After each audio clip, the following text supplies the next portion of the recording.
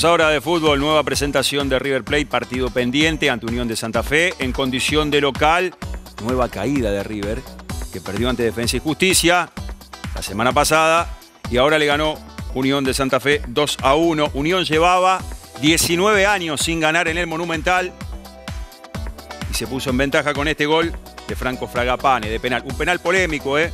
Por una falta que le cobran al juvenil Civile, falta que fue fuera del área, pero que el árbitro equivocado cobró dentro. Este es el segundo gol de Unión. Diego Zavala, después de una muy buena jugada de Acevedo. Y finalmente el descuento de River con este desvío. La pelota pega en Jonathan Botinelli y era el 1-2. Caída de River Play que está a 17 puntos de Racing, el puntero del campeonato. Es cierto, a River le faltan todavía dos partidos contra Godoy Cruz y contra Rosario Central, pero está lejos del líder que es Racing.